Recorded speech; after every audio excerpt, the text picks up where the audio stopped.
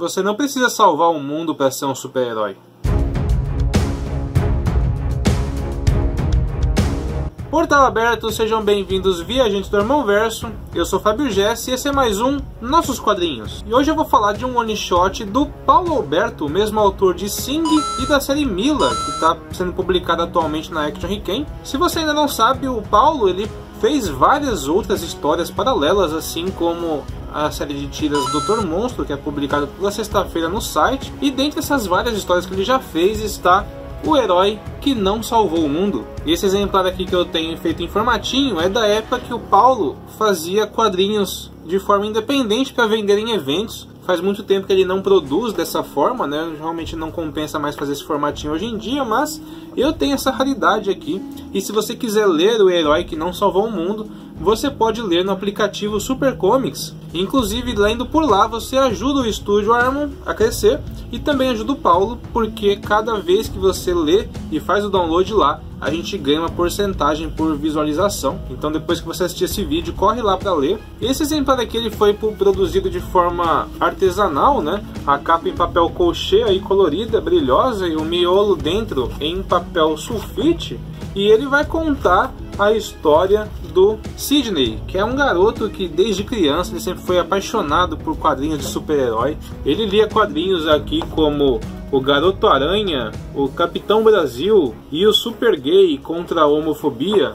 Né, vários quadrinhos que ele fez uma paródia aqui de super-heróis de verdade. E esse Sidney, ele gostava tanto de quadrinhos de super-herói que ele quis se tornar um herói um dia e por isso ele treinou muito durante toda a sua infância, toda a sua adolescência. Ele treinou bastante até que um dia ele fez a sua própria fantasia e assim surgiu um novo herói.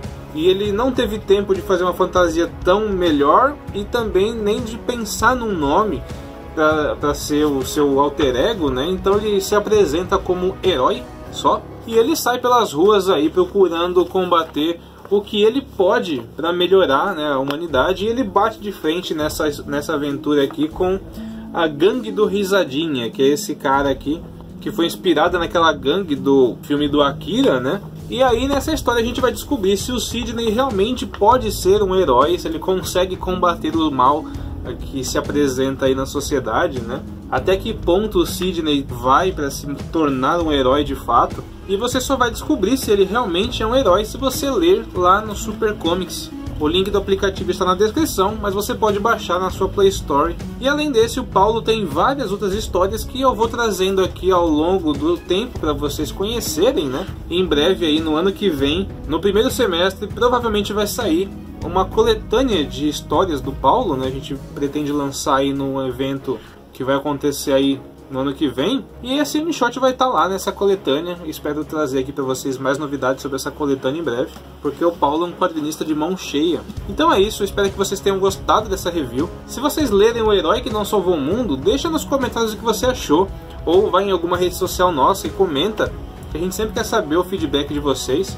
Se você gostou desse vídeo, deixa o seu like, compartilhe com seus amigos para que eles conheçam o herói que não salvou o mundo. Se inscreve no canal se ainda não é inscrito. Muito obrigado por ter assistido esse vídeo. Eu vou ficando por aqui e portal fechado.